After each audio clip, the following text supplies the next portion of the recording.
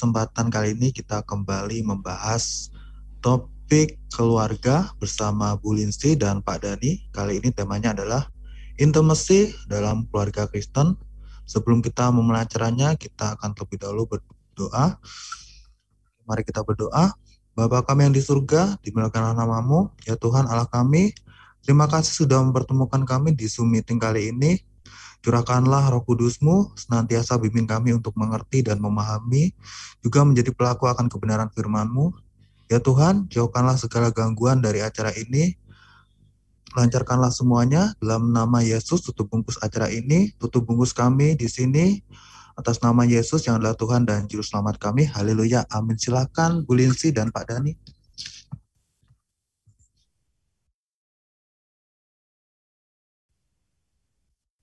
Halo Bapak Ibu Saudara sekalian dalam kasih Tuhan Yesus Kristus kita ketemu lagi dalam pembahasan intimasi ya kelanjutan yang kemarin. Kali ini kita akan membahas saya Bu Linti eh, mungkin dari pertanyaan juga bisa eh, lebih deep lagi, lebih dalam lagi eh, secara iman Kristen. Jadi eh, kemarin sudah dibahas tentang inti, bagaimana intimasi itu eh, lebih dari sebuah kedekatan eh, dalam tanda kutip eh, bukan eh, hubungan seksual ya intim ke sana. Nanti pada dasar pada intinya juga akan mengarah ke sana. Jadi perlahan eh, Bapak Ibu Saudara akan kita eh, bawa kepada pengajaran yang lebih dalam dalam iman Kristen. Jadi intimasi di sini eh, kita akan mengajak untuk mendasarinya dalam iman Kristen ya. Dalam iman Kristen itu seperti ini.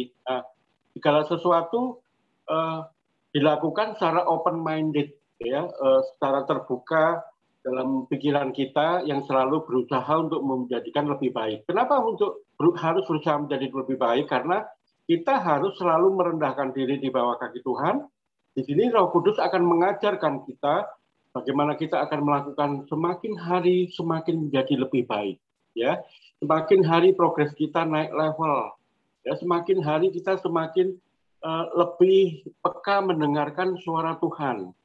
Supaya apa yang kita lakukan baik dengan anggota tubuh terutama dalam pikiran dan hati kita itu semakin layak dan semakin membuat Tuhan um, tenang dan bangga ya. Ya seperti itu. Uh, mungkin audien ada yang di luar Tuhan, eh, kalian harus menghormati bagaimana iman kita seperti apa.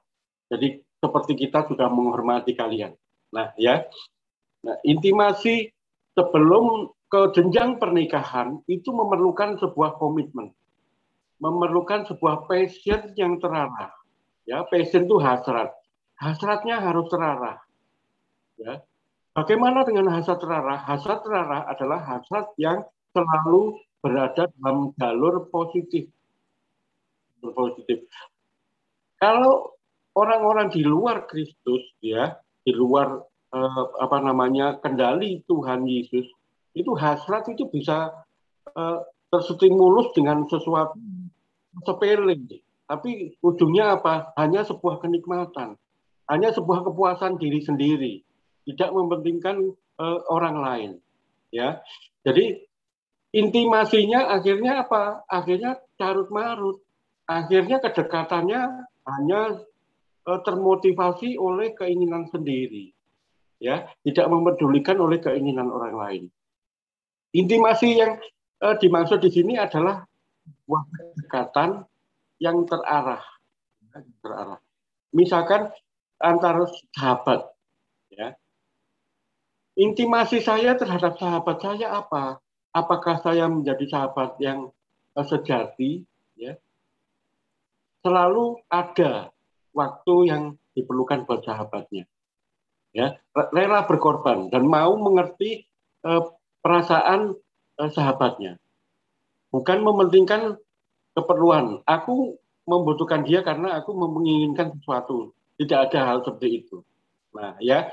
Jadi itu sebuah sahabat. Bagaimana intimasi antar teman? Bagaimana intimasi antara anak dan orang tua?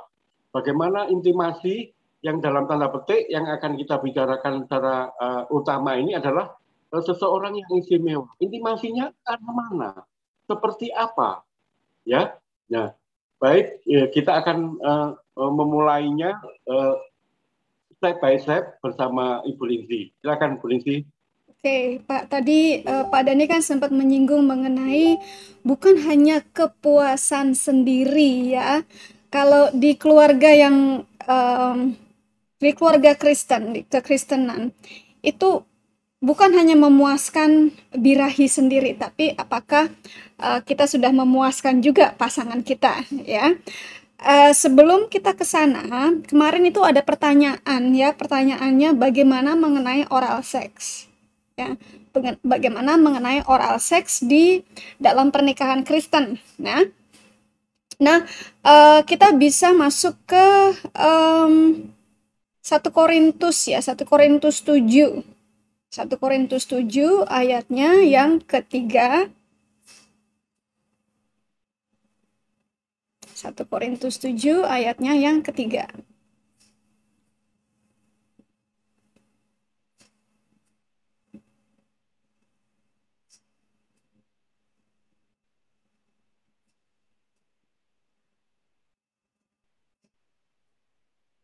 Oke, silahkan Pak Moderator.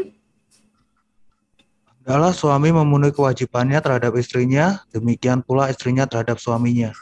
Ya, yang empat. Istri tidak berkuasa atas tubuhnya sendiri, tapi suaminya. Demikianlah pula suami tidak berkuasa atas tubuhnya sendiri, tetapi istrinya. Oke, yang kelima.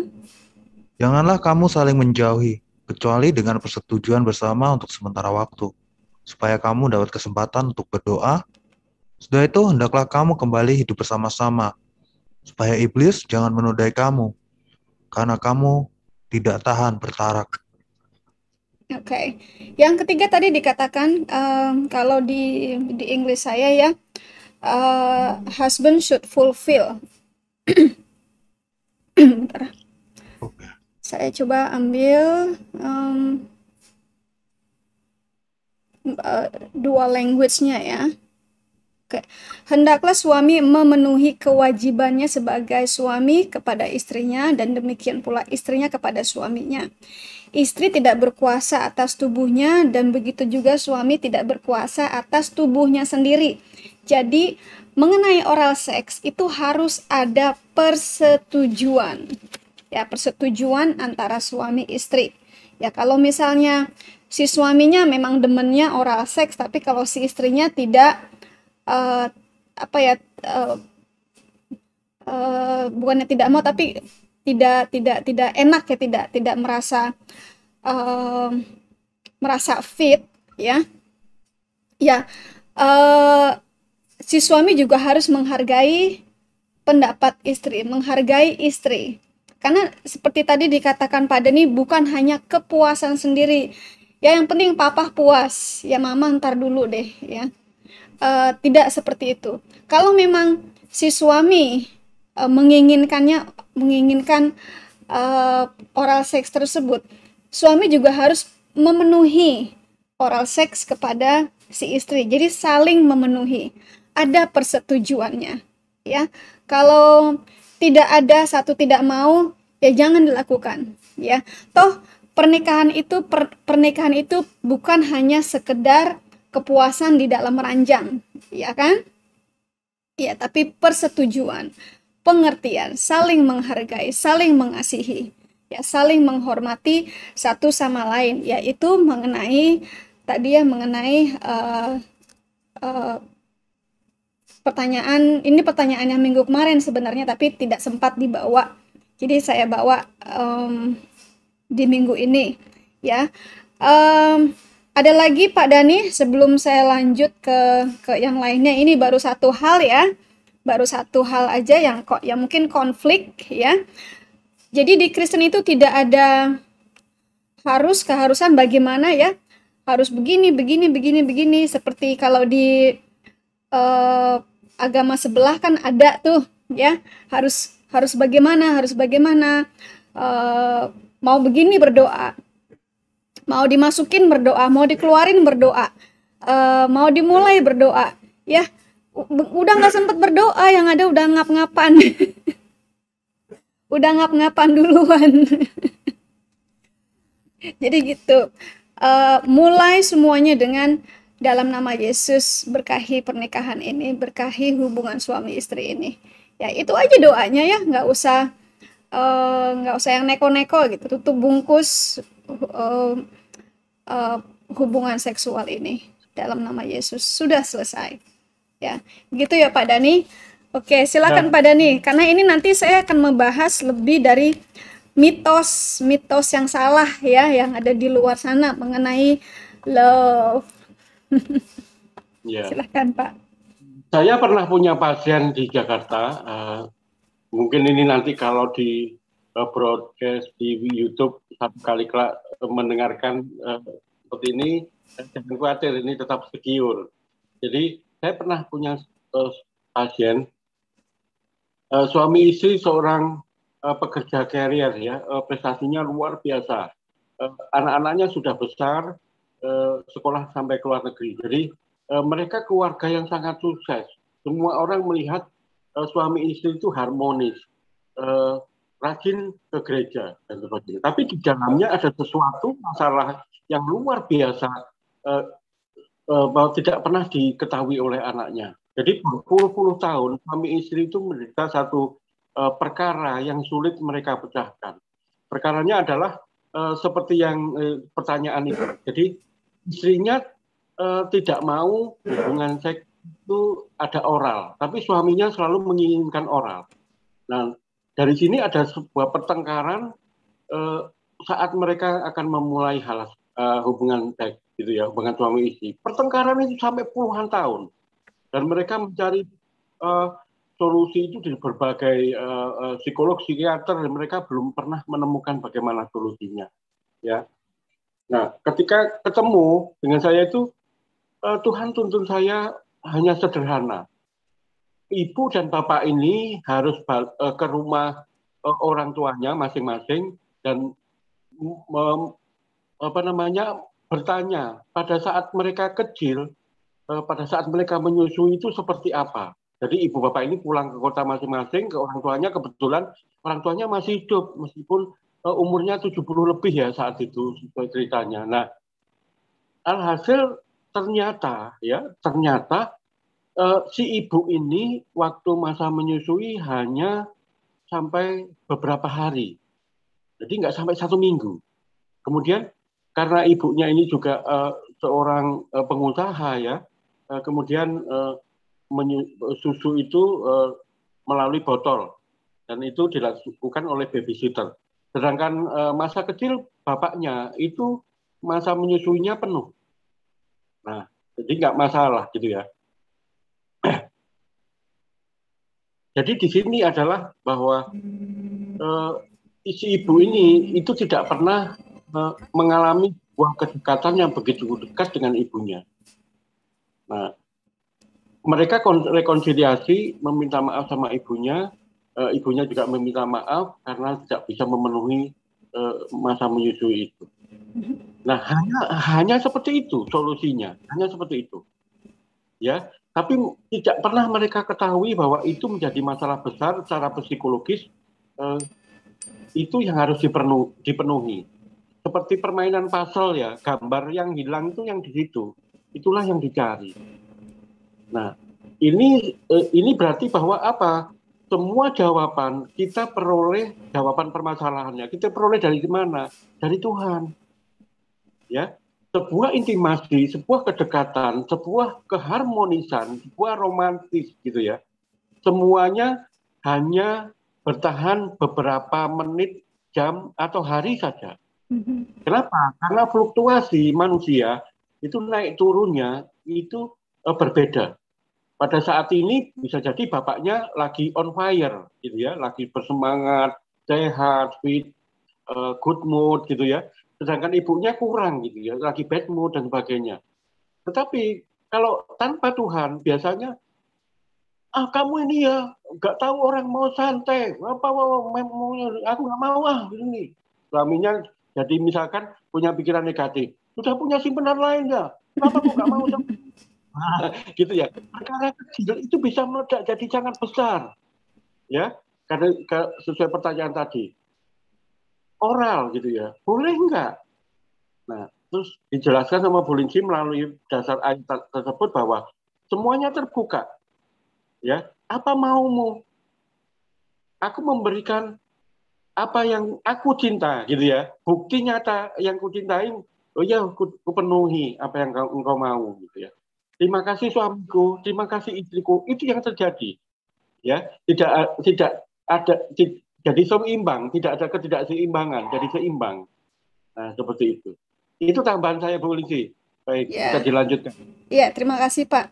Uh, jadi harus ada komunikasi tetap ya komunikasi adalah hal yang paling utama uh, meskipun dalam hubungan ranjang ya dalam keranjangan uh, tetap komunikasi harus ada ya uh, ada lagi misalnya begini uh, si istri lagi nggak mood suaminya lagi mood ya kan kebanyakan seperti itu ya. Kalau kalau perempuan itu kan memiliki masalah seperti PMS ya PMS atau uh, menjelang menopause ya seperti saya. Ya itu hormonnya itu lagi naik turun ya. Kadang-kadang uh, laki-laki tidak mengerti akan hormon yang naik turun ini ya. Karena laki-laki mungkin tidak mengalami mengalaminya ya mungkin puber kedua aja. Jadi maunya maunya ke situ terus ya maunya berhubungan seks terus maunya bersama istri terus ya. Tapi uh, yang namanya wanita yang memiliki hormon yang kadang-kadang tidak stabil ya memiliki kesulitan. Bukan hanya kesulitan untuk bisa jadi nafsu tapi kadang-kadang uh, sering ya saya juga mengalami ya uh, kemaluan kita ini seperti sakit gitu. Sakit uh, seperti seperti apa ya? Seperti meradang ya. Uh, bukan karena kita kita sakit tapi karena fluktuasi hormon yang tidak stabil. Kadang kadang-kadang kita berhubungan seks itu bukannya nikmat tapi sakit. Ya saya juga suka mengalami seperti itu kalau hormonnya sedang tidak stabil seperti itu. Ini terjadi juga yang PMS, yang masih menstruasi, yang masih yang yang masih muda-muda ya, yang yang masih menstruasi, juga yang sudah mengalami uh, premenopausal dan menopause seperti saya. Ya, uh, kadang-kadang apa ya, bukannya suami kan menuduh kok kamu nggak mau, kok kamu nggak mau, nggak nggak tertarik sama saya, apakah kamu punya punya simpenan lain ya Uh, jawabannya tidak seperti itu. Bukan karena si perempuan uh, atau bukan karena saya tidak tidak menginginkan atau tidak hangat, karena uh, hormonnya, hormon untuk dorongan ke situ itu seperti seperti padam, seperti tidak ada. Gitu. Dan juga karena kesakitan uh, itu. Nah, mungkin si suami dan istri bisa mencari solusi. Solusinya apa ya supaya uh, istri tidak sakit kalau berhubungan seks? Ya tidak tidak apa uh, tidak kesakitan ya. Uh, istri bisa juga menikmati seperti halnya suami bisa menikmati. Karena itu ini dua uh, ini mutual ya. Ini uh, mutual relationship. Jadi hubungan yang uh, harus seimbang. Seperti di 1 Korintus 7 ayat 4 tadi dikatakan kalau uh, tubuh wanita, tubuh istri adalah milik suami dan suami juga milik istri. Ya, jadi si si suami juga eh, nggak uh, bisa neko-neko dengan tubuhnya sendiri kayak, kayak misalnya ya misalnya ya udah mah karena kamu eh, nggak uh, bisa aku masturbasi sendiri atau onani sendiri atau cari perempuan lain untuk memuaskan diri. Nah, tidak bisa begitu juga karena itu kan harus dengan persetujuan istri. Apakah istri setuju seperti itu? Ya, karena tubuh Anda bukan milik Anda sendiri sekarang. Ya, tapi milik istri. Begitu juga istri, ya tidak bisa memuaskan diri sendiri dengan uh, cara misalnya apa um, memuaskan diri sendiri dengan dengan mainan misalnya ya mainan seks ya uh, tanpa persetujuan suami. Jadi harus ada harus ada konsen, harus ada persetujuan di ranjang antara suami istri. Oke, kita melakukan seperti ini. Oke, kita main dengan um, apa dengan mainan, tapi mainannya berdua, jangan mainan sendiri ya. Punya mainan dipakai berdua, jangan dipakai sendiri ya. Terus ngumpet-ngumpet lagi ya Nah, jangan seperti itu. Harus semuanya dengan dengan persetujuan supaya supaya apa? Supaya tidak ada iblis yang menyelinap masuk di antara kalian berdua. Seperti prasangka-prasangka, oh kamu ada simpenan lagi ya, oh kamu ada pacar ya, oh kamu ada selingkuhan ya. Supaya tidak ada uh, tuduhan-tuduhan seperti itu. Nah, ya, itu baru masalah satu, masalah uh, oral seks, masalah mainan, ya. Uh, banyak lagi yang akan yang akan kita bahas ya. Saya kembalikan lagi kepada Pak Dani, mungkin ada Pak Dani, Pak Dani ada tanggapan mengenai ke hal itu Pak Dani. Silakan. Ya. Jadi eh, Bapak Ibu Saudara masih ingat nggak waktu pelajaran SMP kalau nggak salah matematika ya. Matematika SMP uh, babnya uh, irisan ya irisan. Jadi ada dua lingkaran ya ada dua lingkaran. Lingkaran ini uh, menempel gitu ya. Ketika menempel ya yang menempel yang berapa luas seberapa luas irisan gitu ya. Kan diarsir itu lingkarannya. Nah itu menunjukkan seberapa intim seberapa dekatnya uh, saudara dengan pasangan. Nah kalau me menyesuaikan dengan firman Tuhan mereka bukan lagi dua tetapi satu. Jadi dua irisan dua lingkaran ini sudah klop jadi satu gini. Nah untuk menuju penyatuan ini memang membutuhkan waktu yang tidak sedikit ya, waktu tidak sebentar. E, masing-masing harus berani membuka diri, berani mengatakan aku suka begini, suka begitu kepada pasangannya. Nah, inilah kunci keterbukaan untuk menjadi satu, ya. Bagaimana caranya supaya uh, kalian itu bisa uh, ringan untuk membuka diri, itu kuncinya adalah harus dekat dengan Tuhan. Gitu ya. Pertengkaran-pertengkaran pasangan itu lebih banyak diwarnai oleh apa? Lebih banyak diwarnai oleh aku aku benar gitu ya. Masa itu salah, aku benar. Selalu begitu. Ya, ya itu. Jadi tidak ada nuansa pengorbanan dalam hal ini jadi suami istri itu harus rela berkorban. Apa yang dikorbankan waktunya, perhatiannya gitu ya, perasaannya harus mau. Harus mau. Jadi kenapa? Karena itu pasanganmu. Karena itu bagian dari dirimu. Kalau itu kalian tidak bisa lakukan, kalian tidak akan pernah bisa menyatu. Ya, kalian tidak akan bisa mengerti perasaan pasanganmu yang sebenarnya.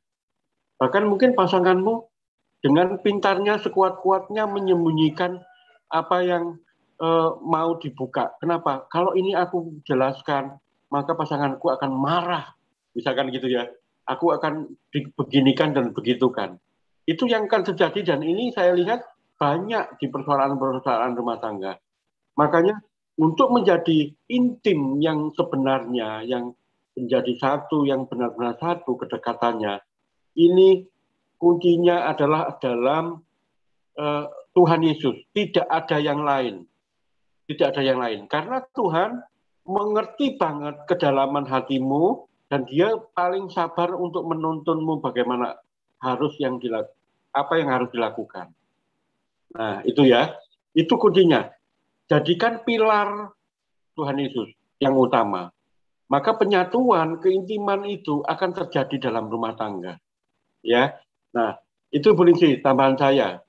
Oke, ya, terima kasih Pak. Jadi uh, seperti yang Pak Dani contohkan tadi ya, uh, dua lingkaran yang perlahan-lahan menjadi satu. Mana nih begini ya, ya. awalnya dari begini nih awalnya begini dulu nih kenalan ya saling komunikasi ya kan pada nih ya kalau dicontohkan ya, ya begini dulu nih ya. lalu saling kenal gitu kan lalu mulai deh menjadi satu seperti uh, Tuhan mengatakan kalian bukan lagi dua tapi satu. Ya satu lingkaran. Nah bagaimana supaya satu lingkaran itu tetap dua menjadi satu? Nggak ada yang uh, satu ke sini yang satu ke sini gitu ya. Ada lobang-lobangnya gitu ya. Nah kalau di dalam rumah tangga itu fokusnya adalah Yesus fokusnya adalah Kristus bukan lagi diri sendiri maka kita bisa menyatu seperti itu kalau fokusnya bukan lagi Kristus, maka terjadilah poligami. Wah saya nggak puas karena istri saya sedang menstruasi, saya kebelet. Jadi ya mau nggak mau e, gimana supaya disahkan saya punya istri lagi yang kedua. Jadi kalau mamah lagi menstruasi, saya ke istri yang kedua. Ya kalau menurut saya istri yang goblok kalau bilang ya silahkan pak silahkan ya. Nanti kalau mama lagi menstruasi papa sama yang satunya lagi itu istri goblok. Istri, istri artinya ya kenapa saya bilang begitu? Artinya anda tidak sama sekali tidak dianggap sebagai bagian dari uh, si laki-laki tersebut. Istilahnya pendapat Anda, pendapat si wanita sama sekali tidak berarti bagi laki-laki. Kebutuhan si perempuan sama sekali tidak berarti bagi laki-laki.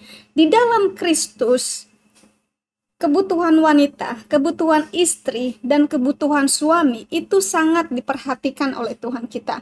Jadi masing-masing harus bisa memenuhi, masing-masing juga harus bisa menahan diri. Ya. Bagaimana kalau halnya si istrinya ini uh, lagi menggebu-gebu, tapi suaminya lagi sakit? Aduh, papa nggak bisa memenuhi kebutuhan saya. Kalau gitu saya uh, apa namanya sama yang lainnya aja. Nah, gimana pendapat si papa? Marah-marah kak? Enak aja lu mah ya. Kan nggak bisa seperti itu. Ya uh, bukan hanya pribadi. Ya di dalam Kristus bukan hanya kepentingan pribadi. Yang penting gue puas ya kalau yang penting gue puas itu sama halnya kalian uh, berhubungan dengan pelacur apakah nih ibu-ibu ya ibu-ibu bukan hanya yang di Kristen tapi juga yang di sebelah ya Apakah uh, mau Anda dianggap sebagai pelacur yang hanya memuaskan laki-laki? Eh, hanya untuk memuaskan laki-laki, tapi kepuasan Anda sendiri tidak dipedulikan. Nggak mau dong, ya. Nggak mau dijadikan pelacur. Eh, pelacur itu mahal loh.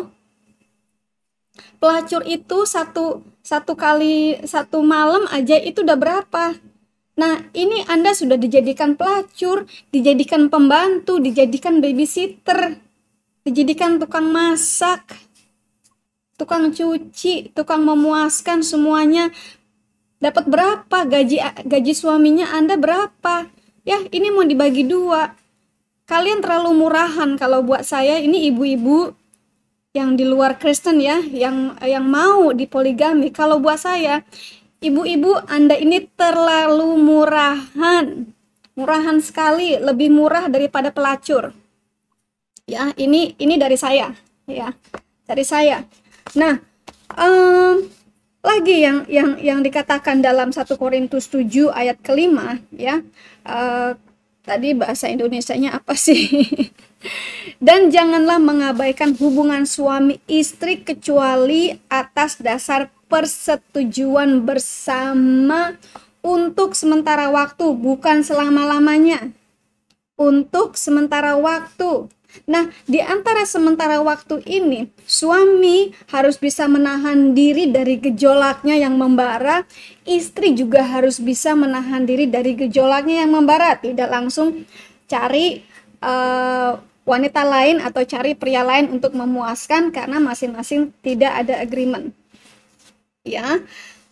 Jangan mengabaikan hubungan suami istri kecuali atas dasar persetujuan bersama dalam sementara waktu. Jadi tidak boleh selamanya, tidak boleh mengabaikan juga si istri membutuhkan. Kalau gitu ya cepat-cepat um, rekonsiliasi kembali. ya. Kalau yang pisah ranjang, ayo cepat-cepat rekonsiliasi.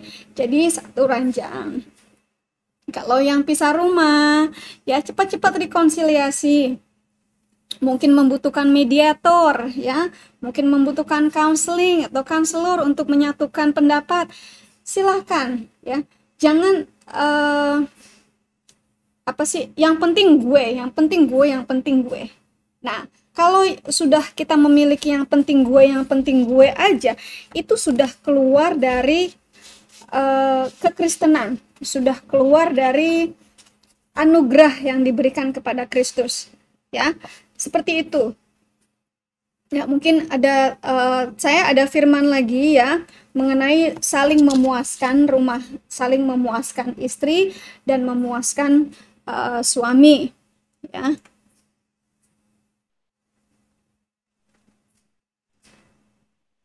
Kita ke Ibrani mungkin Gus. Eh. Ya, ke Ibrani mungkin ya. Ke Ibrani 13 ayatnya yang keempat.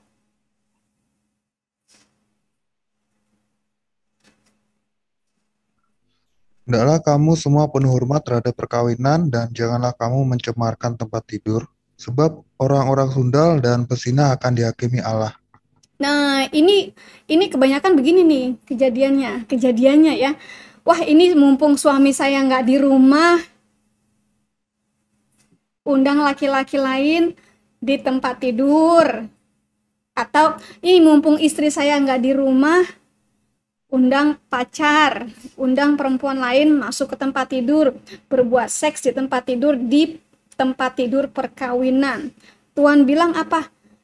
Akan dihakimi. Hati-hati dengan hal seperti itu. Ya. Tuhan tidak berkenan. Ya.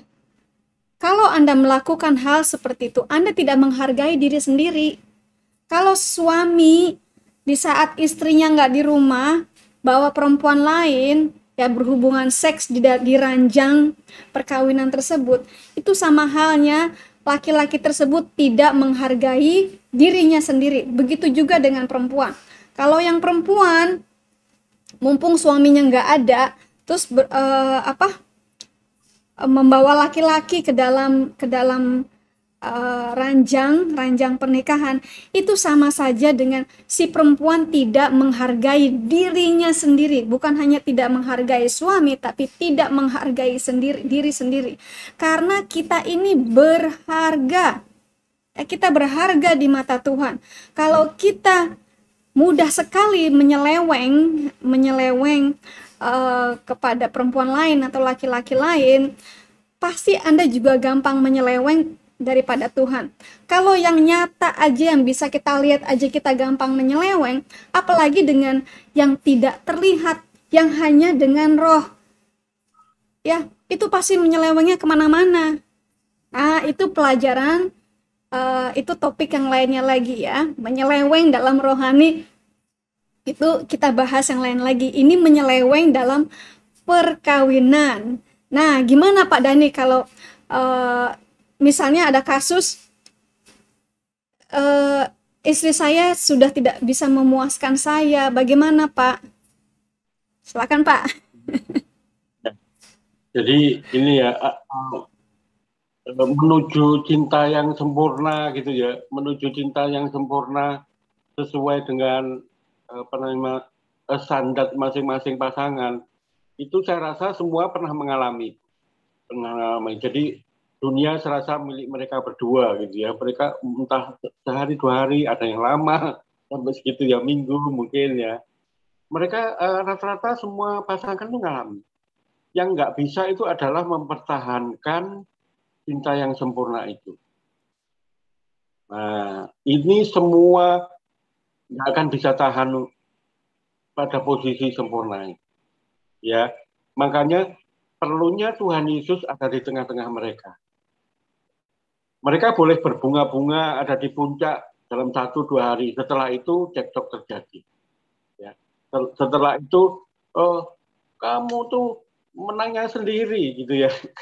Orang yang eh, aku sudah rasanya sudah nggak mampu lagi kamu paksa-paksa seperti itu. Nah, kayak gitu ya. itu uh, uh, sulit mempertahankan supaya tetap ada di atas.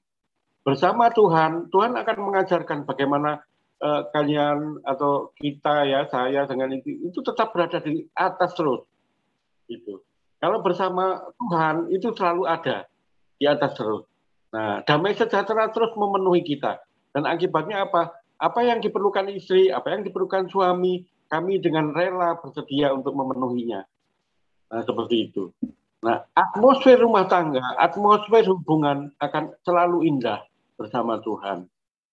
Kemudian bagaimana dengan istri yang uh, bermasalah misalkan Seorang suami yang open minded, seorang suami yang pikirannya terbuka dan selalu belajar untuk menjadi lebih baik, dia akan memahami apa masalahnya, Ma. Apa masalahnya sayangku? Kenapa kau seperti itu? Dan berusaha memahami, kekurangannya diterima dan dicarikan solusi bersama-sama. Nah, seperti itu, ya. Eh, eh, saya rasa seperti itu. Nah, sekarang uh, seperti ini Bu Polisi. Uh, misalkan dalam pelayanan ya, dalam pelayanan. Seorang pemimpin akan mengutus uh, yang diutus itu sesuai dengan kealihannya di medan tempur. Betul ya Bu ya? Nah, misalkan di satu wilayah itu memerlukan seseorang yang ahli memanah. Maka dikirimkannya lah tentara yang ahli memanah. Nggak mungkin tentara di luar ahli memanah dia akan mati duluan tidak bertahan lama. Nah seperti itu. Nah pertanyaan itu, pertanyaan ini eh, saya jawab sesuai dengan apa yang ditujukan ke saya. Kenapa Pak Dharma begitu lama? Saya sudah menjawab sejak saya sebelum menikah, Tuhan tuh sering kali mengutus saya sampai ke luar negeri. Saat itu ke empat negara, eh, Singapura, Belanda, Australia, nah Indonesia sendiri ya, empat negara ini. Saya berputar terus di Indonesia ini dari Sabang sampai Merauke saya nggak pulang ke Jawa ngambilin darah sampel uh, dari Sabang sampai Merauke bahkan sampai ke Malaysia waktu itu. Ribuan darah yang harus saya ambil. Jadi di dalam negara pun saya nggak pernah pulang. Tuhan sudah melatih saya sejak muda saya ada di perantauan. Ketika mulai saya uh, apa namanya uh, menikah pertama Tuhan memberikan space beberapa tahun kemudian Tuhan mengutus lagi nggak lama cuma satu minggu dua minggu pulang, kemudian mengutus lagi agak lama, satu bulan, pulang lagi. Nah, itu repetitif terus, continue. Jadi di sini istri juga dilatih bagaimana eh, lama tidak bertemu dengan suami. Dan kami berdua eh, akan komunikasi secara apa namanya media sosial suami istri begitu seperti itu. Dan itu sudah berjalan baik gitu ya. Nah, orang yang tidak mengetahui itu akan berpikir negatif. Gitu ya, seperti itu. Misalkan kalau saya misalkan melakukan sesuatu yang nggak benar, berkat Tuhan akan berhenti dan saya tidak akan bisa makan hari ini. Nah, oleh karena Tuhan melayakkan, berkat Tuhan terus mengalir. Kalau saya tidak layak, berkat Tuhan tidak akan mengalir. Itu jawabannya. Jadi intinya yang diambil pelajaran Bapak Ibu Saudara adalah jadikan Tuhan Yesus sebagai pilar di tengah-tengah intimasi Nah, di situ akan kalian temukan solusi yang tepat buat kehidupan kalian. Nah, ya, itu. Itu sih cukup ya. panjang tambahan. Ya, uh, terima kasih Pak. Jadi ada persetujuan ya antara suami dan istri, ya. Uh, sekarang kita masuk ke ini yuk, uh, proverb itu apa Amsal ya? Amsal 5 ayatnya ke-18 sampai 20. Silahkan Pak moderator.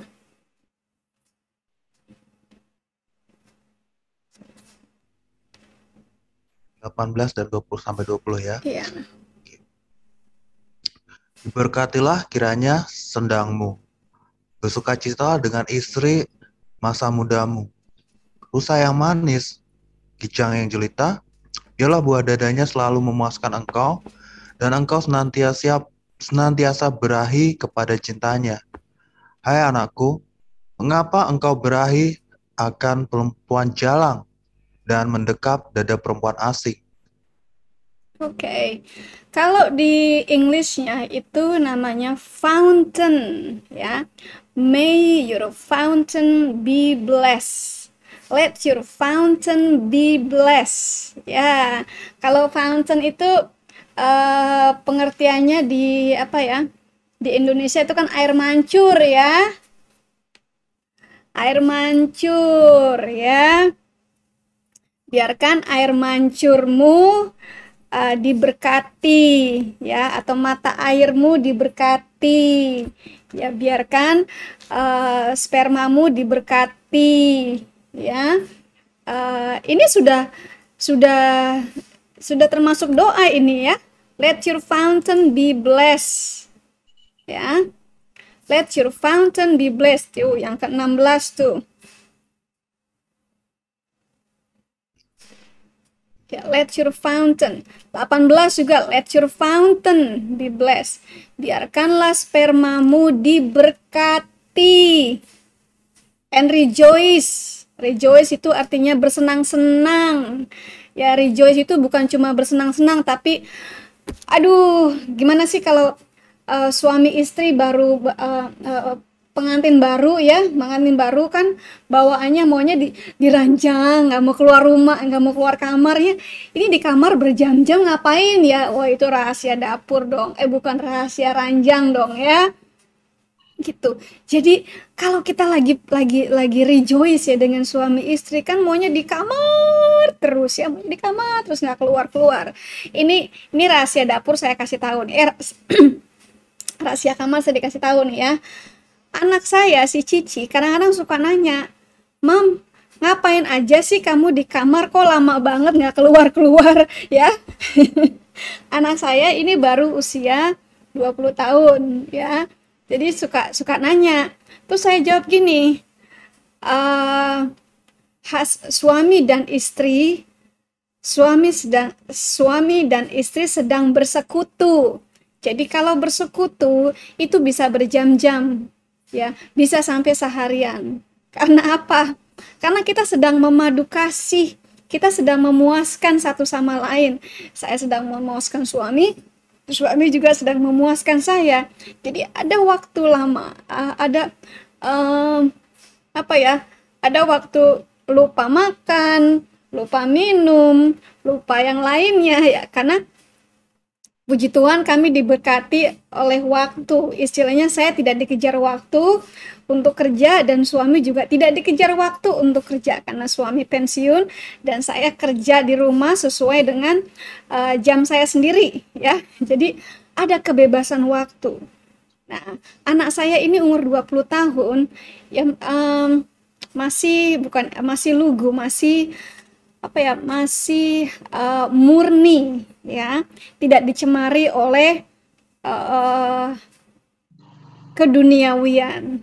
Seperti itu. Terus saya bilang kamu akan mengerti suami istri um, apa harus memberikan waktu uh, kepada pasangannya. Ya. Apa aja sih yang dikerjakan?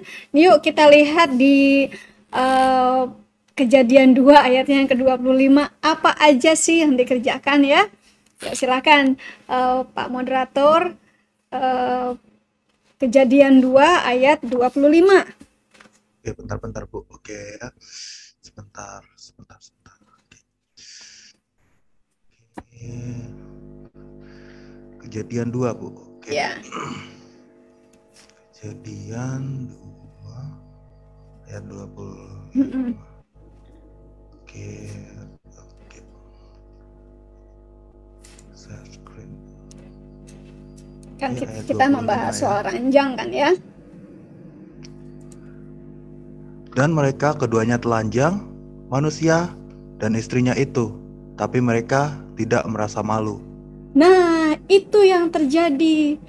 Keduanya telanjang dan mereka tidak merasa malu ya apa yang terjadi kalau dua manusia telanjang? Ya, terjadilah hal-hal yang diinginkan, ya. Ya, maksudnya eh, karena kita sudah resmi suami istri, maka kalau dua dua orang telanjang, suami dan istri telanjang, maka terjadilah hal-hal yang diinginkan hal-hal yang memuaskan, hal-hal yang indah hanya milik kita berdua, yang lainnya ngontrak. bener ya aduh saya sampai ini sampai apa sampai uh, uh, spitting. nah, seperti itu saudara-saudara, they were both naked, the man and his wife, and they were not ashamed. Ya, jadi kalau suami istri hanya di kamar berdua, telanjang, ya, kita tidak malu karena si, si, si tubuh si istri sudah menjadi milik suami dan tubuh suami sudah menjadi milik istri. Ya, suami mau pegang-pegang bagian apa pun milik punya istri itu sudah menjadi milik dia. Begitu juga dengan istri. Istri mau pegang-pegang apa pun bagian uh, dari tubuh suami itu sudah menjadi milik istri. Kayak ini misalnya, ini saya punya gelas. Gelas ini punya saya ya meskipun suami yang beli tapi ini sudah menjadi milik saya. Saya mau isi apa pun gelas ini ya terserah saya. Saya mau isi kopi, mau isi teh, mau isi air, mau isi apa pun terserah saya. Ya kan? Karena ini sudah menjadi milik saya dan suami sudah men, sudah sudah memberikan kebebasan kepada saya. Pakai saja uh, uh, cup yang saya berikan, yang saya belikan kepada kamu. Sama halnya seperti suami istri di saat suami istri berdua di dalam kamar ya uh, si istri bisa melakukan apa pun kepada uh, terhadap suaminya. Mau jamah yang mana mau jamah yang mana melakukan apa pun begitu juga si suami. Tapi satu dengan persetujuan masing-masing ya. Uh, boleh nggak seperti ini? Biasanya kalau kalau uh, setuju itu nggak ngomong diem aja. Hmm ya ya. Paling bersuara. Tapi kalau nggak setuju paling mungkin bilang oh jangan ke situ pak jangan ke situ pak ya uh, atau apa ya? Bagaimana persetujuannya? Atau wah saya nggak mau pak atau saya nggak mau mah. Begitu. Kalau di Indonesia kan uh, bahasanya mama papa ya ya ya mah ya pah kan bahasanya seperti itu. Kalau di sini kan kita bahasanya uh, sudah pakai babe uh, honey dear my love ya. Udah uh, udah nggak mama nggak mama papa. Janggal kalau di Amerika mem memanggil istri kita uh, mah atau memanggil suami pah ya. Apalagi kalau anak-anaknya sudah gede-gede janggal sekali, uh, aneh sekali. Gitu. Seperti saya memanggil suami saya dengan panggilan babe, baby, my love. Ya, suami memanggil saya dengan dengan kata honey, my dear, ya, my love atau babe. Begitu. Jadi persetujuan gitu bukan berarti kalau saya memanggil orang yes my dear itu berarti suami saya bukan seperti itu ya. Uh, tapi ada persetujuannya masing-masing gitu ya.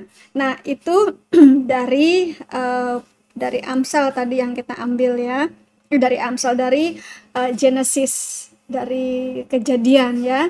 Nah kita balik lagi masalah ke fountain ya itu fountain juga berlaku untuk istri, bukan hanya untuk suami. Ya. Berlaku juga untuk istri. Biarkanlah fountainnya menjadi blessing, menjadi berkat. Biarkanlah air yang eh, sperma yang mengalir menjadi berkat. Biarkanlah telur yang saya punya menjadi berkat. Berlaku untuk kedua pihak dan kalian uh, bersenang-senang ya. Bersenang-senang uh, bersama istri ya. Bukan berarti kalau istri sudah tua uh, suami sudah tua sudah peot sudah tidak tidak berfungsi lagi terus cari yang muda. Ya bukan begitu ya. Nah ini yang disalah mengertikan uh, mengenai cinta. Cinta ya. Uh, saya pernah mengajar ini ada tujuh macam cinta. Seven different types of love ya. Tapi saya akan bawakan tiga macam saja ya. Uh, distinguish three types of love. Yang satu itu eros. Nomor satu itu eros. Dari uh, uh, ini roots dari kata erotik erotika ya. Love atau seksual. Apa pun yang berhubungan dengan seksual itu eros atau erotik atau seksual. Ya, seperti itu. Ya, tapi bukan berarti segala yang berhubungan dengan seksual itu adalah cinta. Ya. Beda lagi. Nah, kalau cinta yang ini ini banyak disalah tafsirkan. Ini cinta uh, dalam bentuk seksual bukan berarti cinta karena hati, ya, tapi cinta karena seks. Nah, ini yang disalahpahami oleh banyak anak-anak muda dan ini yang dimanfaatkan oleh iblis. Iblis memanfaatkan kata eros ini, kata love dalam eros ini. Ya, maka terjadilah hubungan seksual di luar nikah, hubungan seksual bebas, hubungan seksual um, apa namanya uh, uh, adultery apa perzinahan. Ya berzinah uh, dengan orang di luar suami atau istri. Ya ini yang yang disalah mengertikan. Nah hubungan suami istri di luar dari hubungan pernikahan hubungan seksual di luar dari hubungan pernikahan adalah pencuri. Ya, siapa pun yang melakukan hubungan seksual di luar dari pernikahan adalah pencuri. Karena apa? Karena Tuhan menginstitusikan hubungan seks hanya untuk suami dan istri. Hubungan keindahan, kenikmatan hubungan suami istri hanya untuk suami istri, kehubungan seksual antara laki-laki dan perempuan, kepuasan birahi, itu khusus Tuhan institusikan untuk suami istri. Dan bagi mereka yang bukan suami istri, tapi sudah menikmati hubungan seksual, artinya mereka pencuri. Ya, kalau pencuri ada hukumannya sendiri, ya. Mungkin kalian gak langsung dipenjara. Mungkin kalau di Indonesia, ya, ketahuan uh, selingkuh misalnya, ketahuan uh, melakukan hubungan seksual uh, di hotel bukan suami istri mungkin langsung ketangkep ya. Atau mungkin kalau uh, di RT RW ya kalau bukan suami istri nggak boleh ngontrak di rumah tersebut ya. Mungkin sudah ada sudah ada uh, persekusinya sudah ada apa namanya uh, uh, uh, imbalannya langsung kalau di Amerika, aduh jangan tanya deh ya. Aduh jangan tanya deh. Anak umur 12 tahun saja sudah hamil. Eh, sudah melakukan hubungan seks. Nah, kita nggak ke situ deh ya. Yang kedua, hubungan hubungan love itu ya, hubungan kasih itu filio.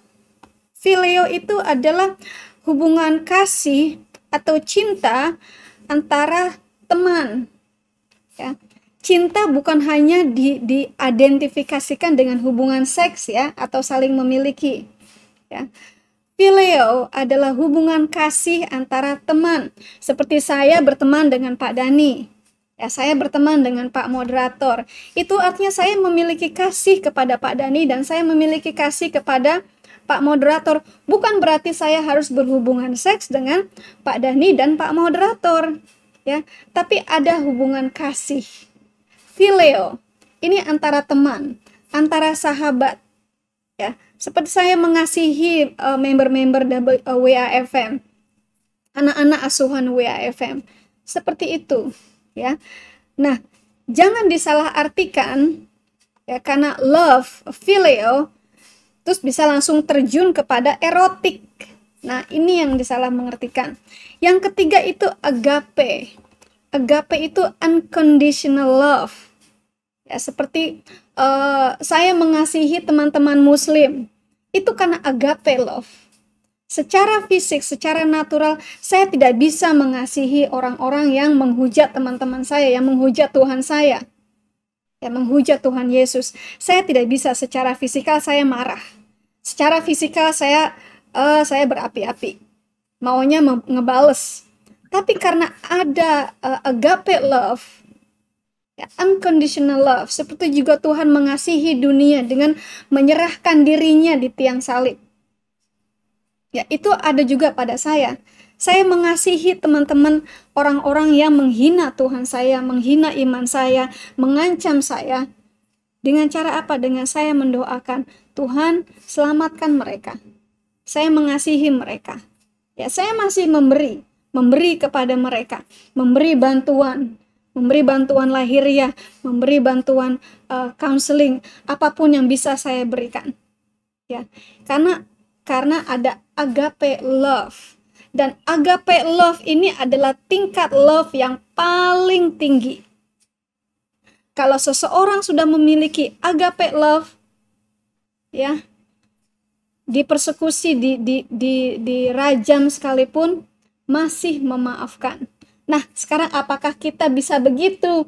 Mungkin banyak di antara teman-teman standarnya cuma sexual love aja ya.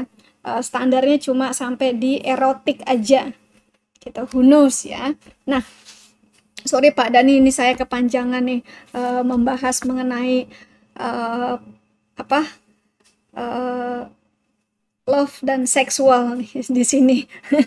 saya kembalikan kepada Pak Dani. Kita masih ada 15 menit lagi ya, karena tadi kita telat datangnya. Uh, so far kita nggak ada pertanyaan, tapi pertanyaan-pertanyaan kita akan uh, bawa ke minggu depannya ya. Silakan Pak Dani. Ya, jadi eh, saudara sekalian, Bapak Ibu, yang paling berbahaya adalah polusi sosial ya, polusi sosial. Mungkin di pertemuan arisan, mungkin di komunitas, mungkin pembicaraan dengan siapa pun juga di media ini eh, yang mengarahkan eh, eh, cinta atau hubungan kalian jadi memudar gitu ya. Sesuai kasus-kasus yang saya tangani, ini adalah ini seorang ibu, ibu-ibu gitu ya, e, diberi informasi ke, ke pertemuan e, arisan apa gitu ya. Eh, tahu nggak suamiku loh e, e, seperti ini gitu ya. Punya suamiku begini, gitu. aku hubungannya gini. Terus dia berpikir loh suamiku kok nggak seperti itu ya. Gitu. Akhirnya apa? Akhirnya terpolusi dengan hal negatif inilah iblis memanfaatkan untuk merusak hubungan yang sudah bagus. Jadi saran saya adalah hati-hati, ya hati-hati dengan informasi-informasi yang akan merusak hubungan kalian yang sudah bagus, yang sudah Tuhan bina baik, akhirnya jadi rusak hanya karena sebuah keinginan atau obsesi atau penasaran eh, mengikuti informasi dengan eh, dari orang lain. Ya, seperti itu. Coba nanti ajak suamimu seperti ini. Enak loh gini-gini.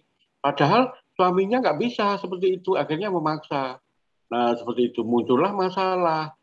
Nah atau gini hati-hati dengan komunikasi ya hati-hati. Hati-hati dengan ini. Karena saya pernah menangani ada beberapa kasus rumah tangga itu seperti ini.